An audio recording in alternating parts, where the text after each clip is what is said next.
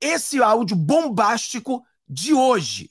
Hoje nós temos esse áudio bombástico aonde a gente tem uma reviravolta sobre esse caso do Marcos Duval. Então esse aqui é o mais importante que a gente vai ouvir porque a gente vai entender toda a jogada aqui nesse ah, momento. É, ao conversar comigo, não adiantou qual seria a conversa.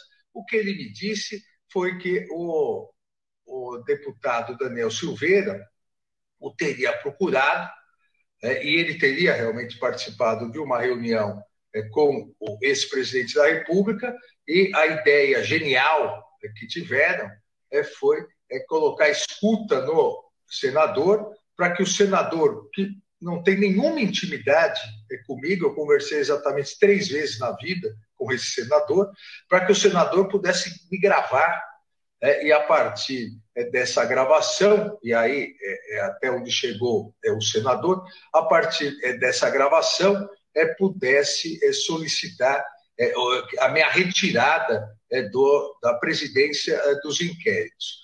Eu indaguei ao senador se ele reafirmaria isso e colocaria no papel que eu tomaria imediatamente o depoimento dele. Olha isso. O senador me disse que isso era uma questão de inteligência é, e que, infelizmente, não poderia é, confirmar. Não, é, é, eu levantei, despedi do senador, agradeci a presença, até porque o que não é oficial, é para mim, é, não existe. É, foi exatamente essa a, a tentativa de uma operação tabajara é, que mostra exatamente é, o quão ridículo.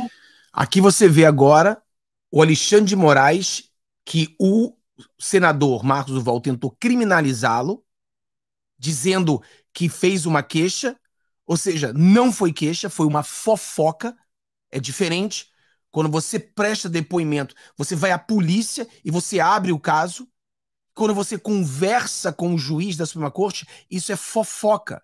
Então, o Alexandre de Moraes está dizendo que o, o, o Marcos Duval mentiu, porque ele disse: se isso é verdade, dia 9 de dezembro, vamos oficializar isso, colocar como uma queixa-crime exatamente isso.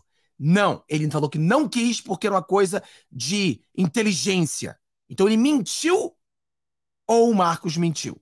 Quem é que está mentindo? O Marcos Duval é um, do, um agente dobro, né? Que está trabalhando para o Xandão e para o. Quer dizer, contra o Xandão e contra o Bolsonaro. Como é que está acontecendo isso aqui? Continua porque aí esse áudio novo entra agora o Marcos Duval contra o que o Alexandre de Moraes acabou de dizer. Aqui que vai complicar tudo ainda essa história toda. É, nós chegamos na tentativa de um golpe no Brasil.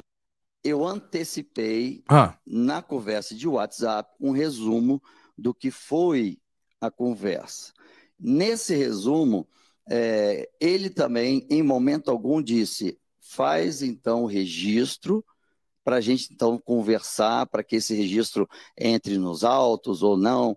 Não falou absolutamente nada disso. E eu quero te pedir permissão para ler a nota oficial que eu vou. Então aqui ele diz que quem está mentindo, na verdade, é o Alexandre de Moraes e não ele porque ele tem conversa de WhatsApp, já enviou as conversas de WhatsApp para a Polícia Federal, para que eles olhem e vejam que quem mentiu foi o Alexandre de Moraes e nem ele, que em nenhum momento o Alexandre de Moraes disse que ele tinha que oficializar. Isso conversas no WhatsApp. O que eu acho assim um absurdo, pessoal, eu fico bolado, né? Pessoas que trabalham na inteligência, pessoas que são senadores, pessoas que supostamente são tão inteligentes, serem tão burras ao mesmo tempo.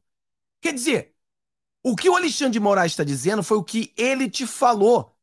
Se está ou não no WhatsApp não quer dizer nada. Vocês não conversaram só por WhatsApp, vocês conversaram pessoalmente também.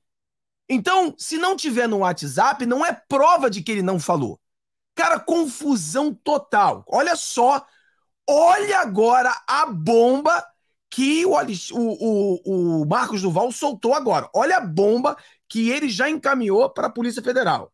É, divulgar agora em primeira mão, vou colocar nas minhas redes, vou apresentar à Polícia Federal e vou levar em mãos a PGR. Bom. Olha isso, olha a bomba.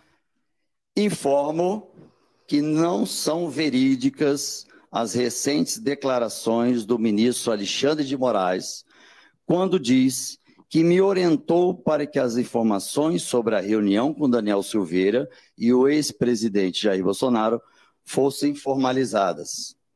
Tenho como provar Olha. que, ao comunicar ao ministro, ao ministro Alexandre de Moraes sobre o que estava acontecendo, por escrito e testemunhalmente, via mensagem pelo WhatsApp, está lá no texto, por texto no WhatsApp. Em nenhum momento recebi orientações do ministro para fazer a referida formalização. Portanto, não fui orientado para formalizar absolutamente nada, nem por respostas a mensagens que enviei e nem pessoalmente durante o encontro que tivemos. Fiz o meu papel como senador da República de comunicar tudo ao ministro do Supremo Tribunal Federal, relator dos inquéritos dos atos antidemocráticos, como também solicitei à Polícia Federal que baixasse todas as mensagens do meu celular com as conversas com o ministro Alexandre de Moraes e com Daniel Silveira. Assim, não restará nenhuma dúvida e será comprovada a veracidade de tudo que tenho falado.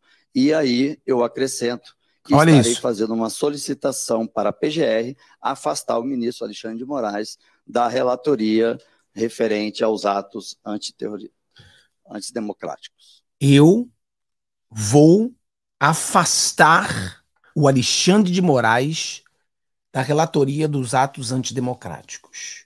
Olha isso, pessoal. Olha o que está acontecendo.